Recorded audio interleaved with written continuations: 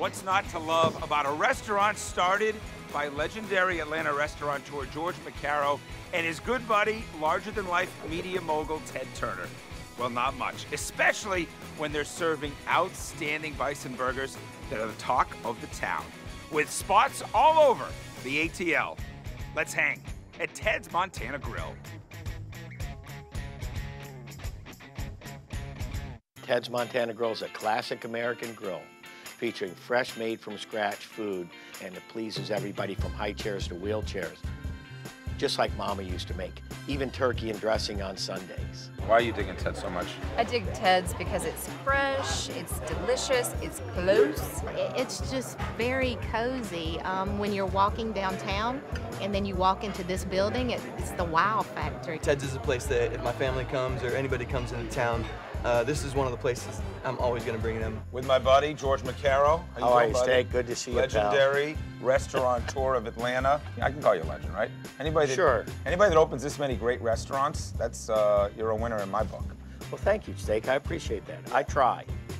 Tell me about the excitement around Ted's. This is your place. How many years now into the game are we? Well, we're 11 years in, and Rutherford Seydel really was the catalyst for all this. Ted's son-in-law. Ted's son-in-law. And we had four goals, Steak. One was to help save the great American bison, which we've done, double the size of the herd. Bring bison to America's table. Number three was help Turner Ranches, since they raise, you know, the largest bison ranchers in the world. And four was to have a sustainable, healthy restaurant company that could stand on its own, something we could be proud of. First of all, what's it, what was it with Ted and Bisons? Well, how'd that whole thing start? Well, was, you know, Ted tells there? the story best. Yeah. I mean, he he loved the Great American West. Right. He he didn't he doesn't like cattle. They're not great for the environment. Bison are native to the West, so he's just in love with the West, and bison is part of the West. What about the pickles? Zed, This you is get our excited? Second bowl Right. of I, pickles. I always ask for a bigger bowl. First thing is first, these pickles. Who came up with the pickles? Because I usually I did. This one problem. Normally, I always say I need a bigger plate than that. You know they say in Jaws, I need a bigger boat. Yeah. That's always my first time. You got to give me more pickles. I like them because they're fresh. It's different. I, I don't know of another restaurant that serves this. The bison nachos, those were awesome. My kids love this, by yeah. the way. This was uh, actually, ironically, Rutherford thought of this dish. He came to me and said, "We need nachos." And I said, "We don't make chips." Right. And I don't buy chips because at Ted's, I think the fundamental thing you need to know about all the food at Ted's is made from scratch, in-house, today. So when Rutherford came to me, I said, "All right, I'll give it a try." And we tried it, and it's the most popular dish. It's on number the one. advertising, Number one.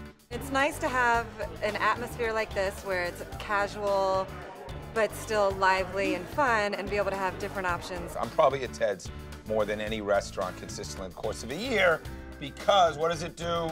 Kids are happy, dad's happy. Now we come together uh, at this spot. So families are obviously a big deal. Absolutely. Uh, kids, you know, we were the healthy kids menu early on, salmon, pot roast, you know, healthy alternatives for kids.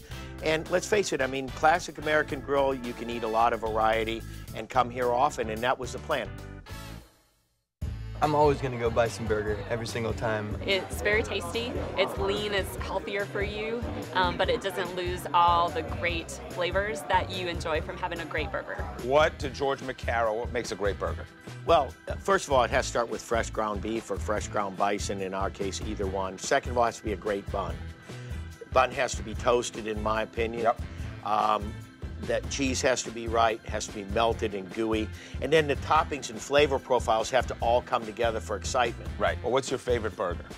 Give me your top three. Somebody's watching and they want to go with the George McKerrow Well, top George's Cadillac, Yeah. which is barbecue sauce, uh, American cheese, and bacon.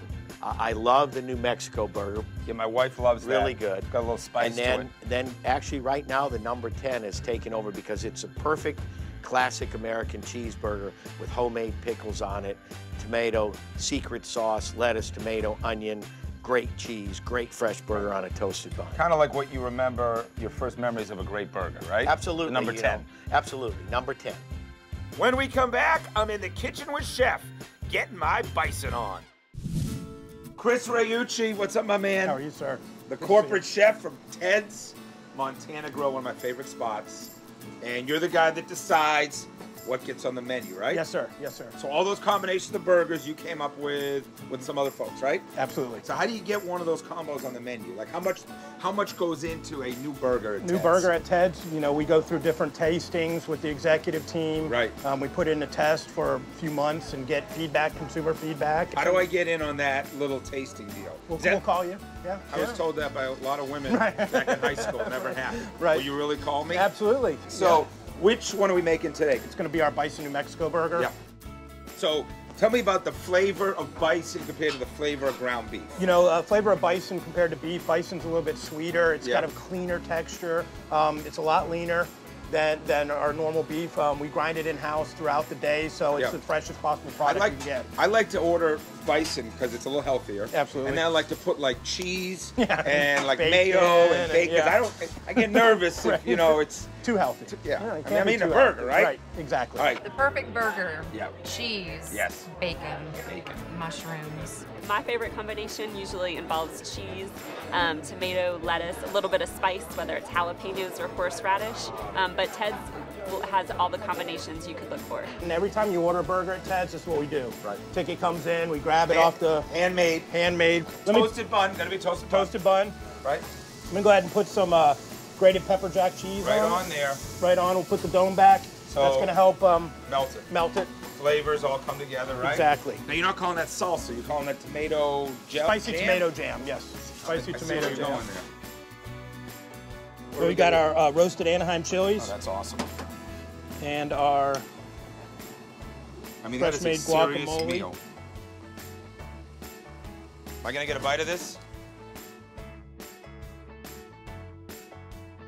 What I'm talking about. yes, sir. You want to toast to fry? Absolutely. Here's the man with the hat. Cheers. Cheers. That's a beautiful thing. That's a The piece of art. bison ribeye right there, my Bison friend. ribeye. You got a little uh, melted butter on top. Baked Yes, sir. A little what's maitre d butter. This is perfect. This makes my heart go pitter patter. Oh, I was getting, I'm like salivating Yeah, over here. I'm, I'm, I'm schwitzing. You know what schwitzing is? Yes, sir. Yeah, I'm schwitzing over here. so this that's bison. Yeah, that's a bison Delmonico, our top bison selling steak. I mean, it's from the rib loin. It is cooked to perfection with a little maitre d butter on it. Comes with my two favorite fruits, great roasted broccoli and a giant baked potato. I'll tell you that you don't have to be. Here's what's great because there's a bunch of Teds, a lot of folks watching Teds all over neighborhoods around Atlanta. You don't have to take a big drive to get as good a steak as there is at any top steakhouse. I mean, Absolutely. look at that. Thanks for having me. One of my all-time favorite places, and you, my friend, a legend in Atlanta. Thank you very much Thanks for for having having us. Cheers, mate. Cheers.